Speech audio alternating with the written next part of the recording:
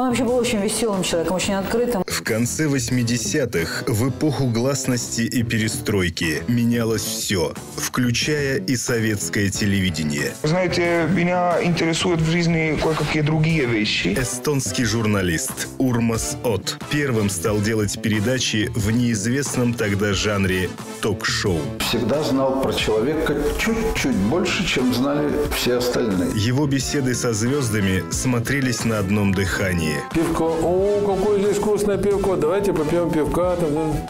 И начиналась беседа. Складывалось впечатление, что его герои легко соглашались на интервью. Мне он таких острых вопросов не задавал. Или, или мне они не казались острыми. И только он знал, сколько времени и сил уходило на то, чтобы уговорить известных людей прийти в студию. Я называл его не раз нежным потрошителем. Нежный потрошитель.